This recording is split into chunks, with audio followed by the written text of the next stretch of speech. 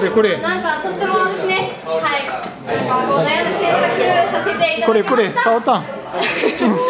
サオタンもうはい、そうです。えっ、と、まあ、まあ、5月いっぱいということなので、最後のステージ5月31日になるんですけれども、その時もですね、ぜひ皆さん遊びに来てくださったら、すごく、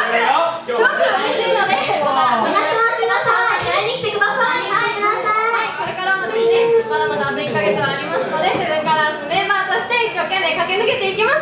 ます